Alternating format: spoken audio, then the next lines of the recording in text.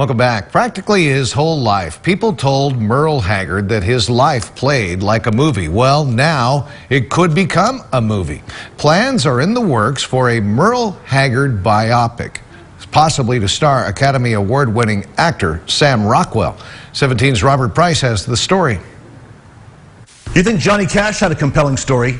Joaquin Phoenix's portrayal of the country music legend in Walk the Line had all the right ingredients, but Johnny Cash never turned 21 in prison.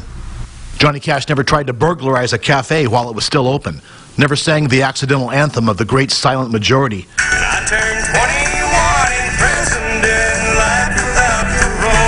Bakersfield native Merle Haggard did all those things and more, and now, after years of talk, his story is coming to the big screen. Amazon Studios has acquired rights to a film about the late great country crooner.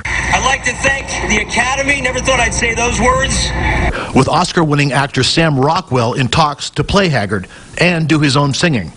The film, based on the singer's 1981 memoir, Sing Me Back Home, will be directed by Robin Bissell, who's reportedly co writing the script with Merle's widow, Teresa Haggard. Teresa Haggard, the fifth of Haggard's five wives, is also set to co produce the film. Merle Haggard, whose boyhood home, a converted rail boxcar, died in 2016 at the age of 79. The forthcoming film will be set in the 1960s and is said to focus on Haggard's rise from San Quentin inmate to what some regard as the single most influential singer-songwriter in country music history. And yes, it will also include Haggard's complicated romance with singer and former wife Bonnie Owens. Steel guitar player Norm Hamlet, who started playing with Haggard in 1962 when they were both sidemen in Fuzzy Owens' band, says this is one story that needs telling. All the way over to steel guitar. If you followed Merle Haggard's career at all, you know about the dramatic highs and lows. Well, now, if all goes according to plan, the rest of America will too.